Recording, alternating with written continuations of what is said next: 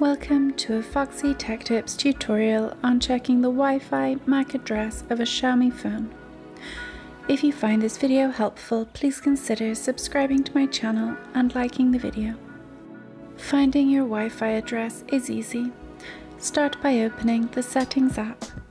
If the Settings app isn't on your home screen, you can get to it via the app drawer. In Settings, tap About Phone. In the About Phone section, tap All Specs. In the All Specs page, scroll to the bottom and select Status.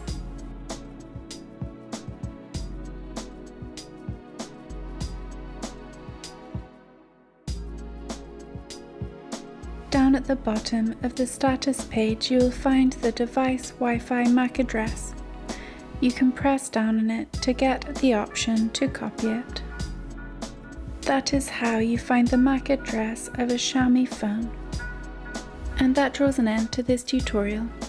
Please like the video if you found it helpful and subscribe to Foxy Tech Tips for more Xiaomi and MIUI tips and tricks.